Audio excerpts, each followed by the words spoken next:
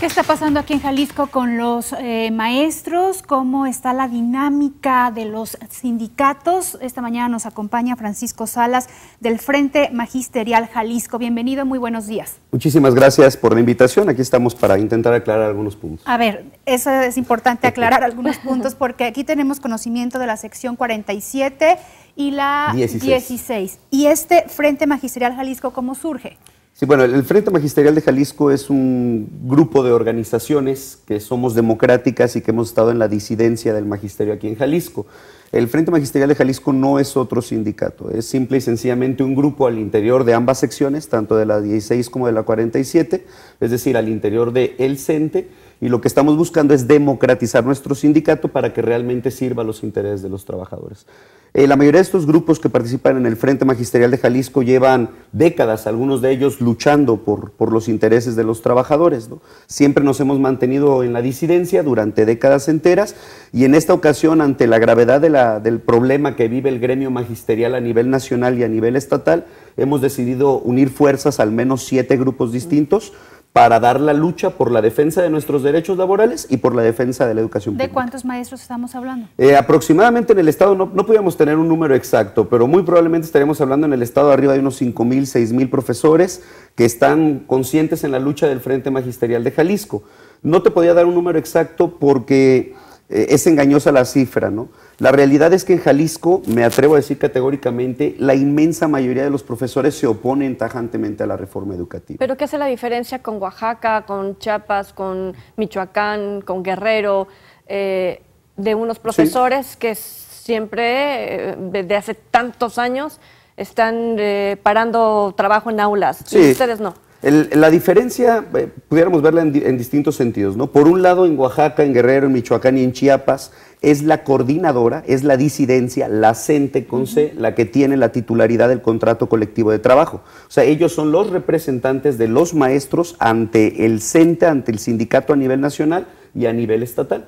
Aquí en Jalisco la titularidad del contrato colectivo de trabajo, tanto por el lado de la sección 16 como de la 47, la tiene propia gente del sindicato, de esta estructura vertical que le responde directamente a Juan Díaz de la Torre, como en su momento le respondían a Elbester Gordillo, como en su momento le respondían a Carlos Congitud Barrios. Entonces es una estructura profundamente vertical, es una estructura que ya lo hemos visto, vaya, sobra creo que incluso decirlo, los escándalos, los fraudes, el desfalco de los fondos, de las cuotas sindicales, ha quedado de manifiesto claramente en múltiples ocasiones, ¿no? Tanto en el periodo en el que a nivel nacional estuvo Carlos Congitud Barrios, como cuando estuvo el Bester Gordillo Morales, por algo está en eh, presa en este momento, y ahora en el periodo de Juan Díaz de la Torre, que cabe señalar, Juan Díaz de la Torre fue secretario general de la sección 16. Era la mano derecha del Bester Gordillo, y para nosotros es inexplicable cómo el secretario general de la sección 22, Rubén Núñez, está preso cuando Juan Díaz de la Torre, que era el hombre que firmaba los cheques del Baester Gordillo, el que se enriqueció de manera brutal, igual que el Baester Gordillo, está feliz y campante tomándose fotos con Aurelio Nuño, con el presidente y haciéndola de comparsa del gobierno. ¿Cómo están trabajando ustedes? ¿Qué, acciones van a emprender ustedes? Llevamos ya en esta lucha contra la reforma educativa, llevamos ya tres años luchando. ¿no? Sabíamos que esto era algo que se iba a venir, esto no era nada nuevo. Desde, 2000, eh, desde 2008, desde 2007, 2008, que empiezan las graves afectaciones a los agremiados del sindicato con las modificaciones a la ley del ISTE, después con el acuerdo para la calidad de la educación el magisterio siempre ha estado en lucha y siempre hemos estado en lucha porque sabemos por un lado que tenemos una, un sindicato que no nos representa y que tenemos que dar la lucha por fuera de ese sindicato como trabajadores aunque estemos agremiados a él y por el otro lado, tenemos bien en claro que hay un proyecto neoliberal en la cuestión educativa que no atiende a la mejora real de la calidad de la educación, sino que todo lo contrario, de manera paulatina, gradualmente, sin que esté ahí explícito, se está apelando de manera directa a una privatización de la educación y ya se están viendo los resultados al respecto. El ciudadano con lo que se queda es, el maestro no quiere que, lo, que, ser evaluado. Claro. ¿Qué, ¿Qué más ustedes están demandando? ¿Cómo quitar ese panorama del ciudadano solamente es la evaluación. Sí, es, muy interesante mencionarle primeramente a la ciudadanía que todos los profesores siempre somos evaluados. Al menos desde los años 90 la evaluación es algo que está permanentemente con nosotros. Entonces no se puede decir que tengamos miedo a la evaluación cuando cada fin de ciclo escolar nuestro director, nuestros alumnos, nuestros padres de familia nos están evaluando. Es una mentira esto de que nosotros nos opongamos a la evaluación. Nos oponemos a este tipo de evaluación. Y nos oponemos por tres preguntas claves. ¿no? Eh, ¿Quién nos va a evaluar?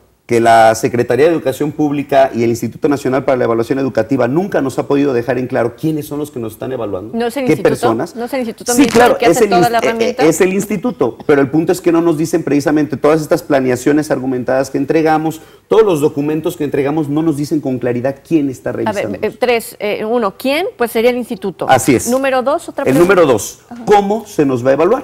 Y ahí estamos totalmente en desacuerdo de que, por ejemplo, sea un examen estandarizado de cerca de ocho horas el que se le aplica a los maestros. Nosotros, como, como, como pedagogos, sabemos que es algo antipedagógico totalmente aplicar un examen de esas características, ¿no? Y más con la presión, y más cuando es un examen que es virtual, es hecho No, en y una repetitivo computadora. aparte, porque tú puedes hacer un examen profesional de cinco horas, que más o menos es lo que tarda, ¿no? Pero Claro. es un examen profesional en toda tu vida. Ustedes se les tendría que evaluar cada... Así es, eh, se habla en la, en la propia ley del servicio profesional docente, se habla de al- como mínimo cada cuatro, perdón, como máximo cada cuatro años, pero no se menciona un periodo mínimo. O sea, ahí me pueden convocar a evaluación para este ciclo escolar y para el que sigue también me pueden convocar a evaluación y si quieren para el que sigue también. Entonces la bronca es esa, ¿no? ¿Cómo nos están evaluando y no creemos que sea una medida Van dos pertinente. puntos. El tercero nos lo dices después de la pausa. Correcto, claro que sí. Vamos a ir a la pausa, quédese con nosotros. ¿Usted tiene algún comentario? ¿Qué opina de estos conflictos que se están dando en Oaxaca? Esta postura que nos están diciendo de aquí de Jalisco 3030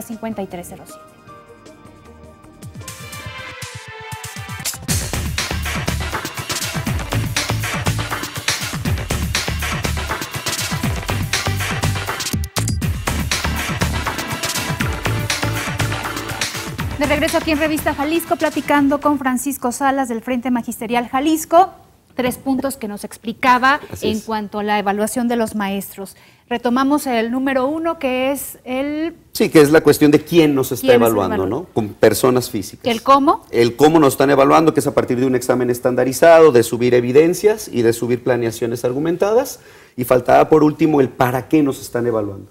Y ahí está la pregunta central. La reforma había prometido, antes del examen, antes de la evaluación de los maestros, preparación, cursos y formación. Ninguna de las tres se dio, pero sí se dio el examen. Entonces ahí es cuando nosotros nos referimos, ¿para qué es esta evaluación? Es una evaluación con tintes punitivos, lo que busca es castigar, lo que busca es recortar el grueso de, de la cantidad de trabajadores de la educación, que en este país supera más de 1.700.000 trabajadores, es el gremio más grande de América Latina. Oye, Francisco, ¿no crees que la situación es esta?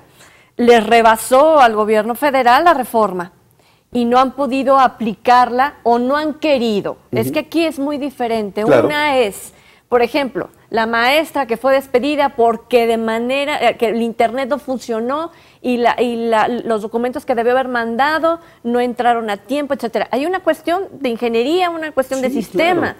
Entonces, quiere decir que el gobierno no está preparado para implementar una reforma educativa o definitivamente estas eh, herramientas de la reforma educativa no son eh, Las las adecuadas. ¿Cuál, cuál es el problema? Aquí el problema central parte de dos, de dos graves asuntos. Uno, que para hacer esta reforma nunca se consultó a las bases, nunca se consultó a los padres de familia ni a los estudiantes, que son los actores principales del proceso de enseñanza-aprendizaje. Si no consultas a los actores centrales, ¿qué tipo de reforma estás generando?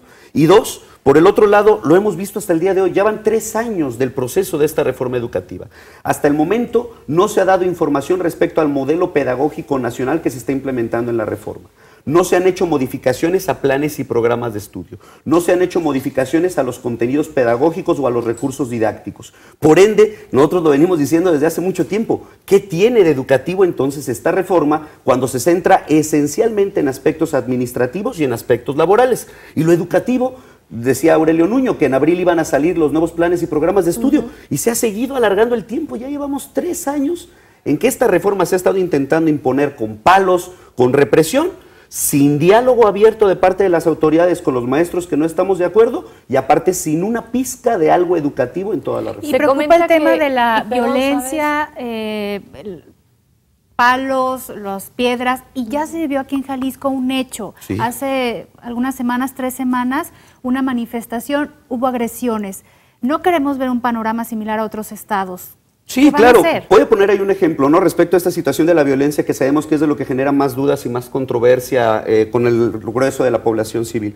Eh, el año pasado, a finales del año pasado, tuvimos una protesta eh, en Casa Jalisco.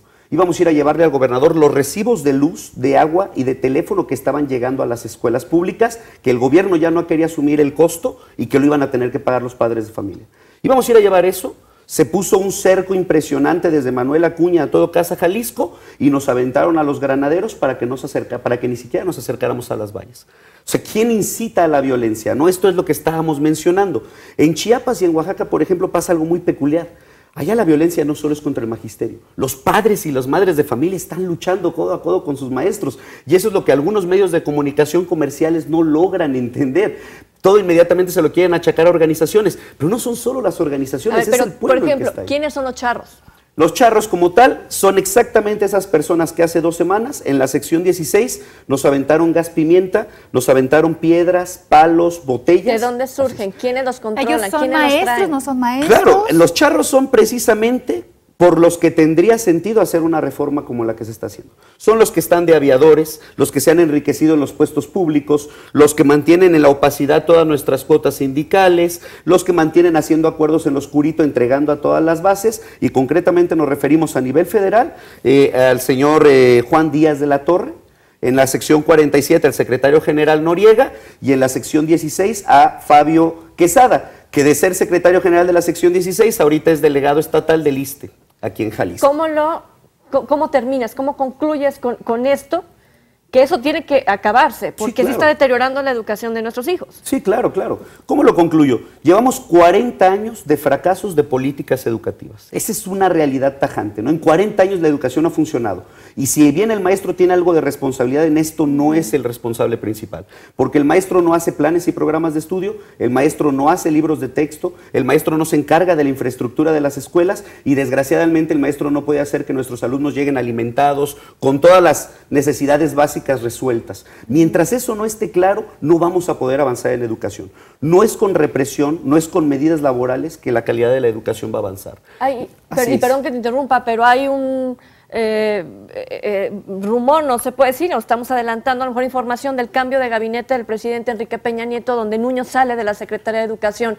Eh, esto vendría a calmar un poquito la situación y comenzar entonces sí a intentar un buen diálogo. Sí, claro. La propuesta que ha tenido la coordinadora siempre es muy sencilla. No vamos por puestos, no vamos por autoridades. Vamos por diálogo para que se abrogue esta reforma y poder armar una nueva reforma que sea consensada entre todos los actores principales del proceso de enseñanza y aprendizaje, que sea consensada por la sociedad. Si esto pasa, yo les puedo garantizar categóricamente que no va a haber ni la menor necesidad de una sola protesta. ¿Aún existiendo el grupo armado que hay en Oaxaca? Sí, es que el, grupo armado, el grupo armado como tal es el pueblo que tiene que responder ante los balazos que hizo la Policía Federal. O sea, aquí ya está, ha quedado ampliamente demostrado el alto comisionado de los derechos humanos, incluso la presidencia de la República, primero dijeron que no iba nadie armado y después dijeron que sí. Ahora ya se sabe con certeza que fue la gendarmería la que abrió fuego.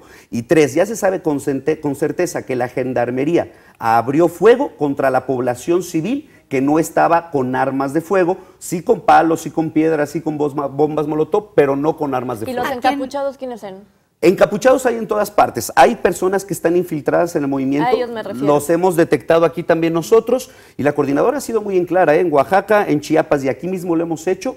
Inmediatamente cuando vamos en una marcha, en una movilización o en una acción, detectamos infiltrados, inmediatamente los retiramos los contenemos y se los entregamos a las autoridades. ¿Ustedes nunca van a ir encapuchados? No, no, no, para nada, para nada. Lo, demostramos el miércoles de la semana pasada que tuvimos movilización ah, eh, afuera de la Procuraduría General de la República. Fue un pequeño grupo de, personas que estaban encapuchadas. inmediatamente la organización, nosotros como coordinadora, los retiramos de la movilización y el resto íbamos como estamos aquí, dando la cara, siempre lo hemos hecho. Somos maestros, caray, estamos en la escuela, tenemos más de cuarenta y tantos niños por grupo, los más interesados en que la mejor de la calidad de la educación se dé, somos nosotros. Aquí en Jalisco, ¿qué les dicen los padres de familia? Aquí en Jalisco hay opiniones divididas. El peso de los medios de comunicación ha sido muy fuerte, pero nosotros lo decimos en una consigna que los padres que son honestos siempre están del lado de sus maestros porque ellos los ven todos los días, porque ellos saben lo que estamos pasando. Nosotros estamos conscientes de lo que está pasando en las escuelas. Aquí en Jalisco, por ejemplo, tenemos escuelas de tiempo completo, públicas, que están cobrando 800 pesos mensuales por brindar el servicio a los niños. Y si no tienes el dinero para pagar esos 800 pesos mensuales, dicen, pues te vamos a regresar a tu hijo a horario normal, llévalo a otra escuela de horario normal, porque la de tiempo completo no tienes cabida. Esos padres de familia son los que realmente saben lo que está pasando con esta reforma y que realmente no está avanzando en la calidad, sino todo lo contrario, está avanzando en un proceso de Pero como tal ahorita no se han unido a ustedes, padres de familia. Sí, hay muchísimos padres de familia aquí en el Estado que están peleando codo a codo con nosotros. Nos han demostrado su solidaridad. El punto aquí es que en Jalisco el sindicato está dominado, pero de manera feroz, por estos charros sindicales que era de lo que estábamos hablando, ¿no? Estos corporativistas, estos eh, grupos de nepotismo y de corrupción. Ojalá se pueda hacer algo con ellos y sobre todo también explicar a la gente paros, eh, bloqueos de carreteras, eh, ¿Ustedes eh, también acudirán a estas herramientas para hacer presión? En Jalisco hemos intentado dañar a la ciudadanía lo menos posible. ¿no? La mayoría de nuestras movilizaciones antes de la del miércoles pasado y la de este miércoles habían sido en fines de semana para no afectar a los alumnos. No hemos estado en la cuestión de las carreteras. Eh, nosotros no tenemos la intención de radicalizar la lucha. A veces son las propias circunstancias las que te hacen tomar otro tipo de medidas. Pongo un ejemplo básico, ¿no? Estás en tu colonia, llevas un mes sin agua, ya recurriste a todas las autoridades, nadie te pela, tienes dos opciones. O te quedas sin agua toda la vida o buscas otro tipo de acciones mucho más contundentes para que el gobierno te escuche. Eso es lo que está pasando en el ámbito pues Aquí en Jalisco va a haber más movilizaciones. Movilizaciones van a seguir. En Jalisco vamos a mantenernos. Tenemos un plantón que ya tiene más de 76 días en la Plaza de la Liberación. Tenemos en Jalisco más de 181 maestros maestros cesados. No vamos a parar hasta que se reinstale a nuestros compañeros que fueron injustamente cesados. No se evaluaron, dirán algunos, entonces sí fue justamente. El artículo 14 de la Constitución es muy claro. Ninguna ley puede ser aplicada de manera retroactiva. Los maestros firmaron un contrato colectivo de trabajo, no pueden ser despedidos bajo condiciones externas al contrato que ya habían firmado. Estamos pidiendo nada más que se aplique la ley. De lo contrario, en Jalisco las movilizaciones van a ser. Va a haber renovación de la sección 16 y la 47. Nos los vemos cuando ustedes regresen de estas convenciones que tienen Puerto Vallarta y aquí en la primavera. Así que muchísimas gracias por estar con nosotros. Hay tema para largo. Así es, al contrario, muchísimas gracias. E informarles que el día de hoy nos movilizamos de nueva cuenta de la Minerva a Plaza de la Liberación a las 6 de la tarde el día de hoy. Para que tome precauciones también. Minerva hasta Plaza de la Liberación. Vámonos al corte informativo.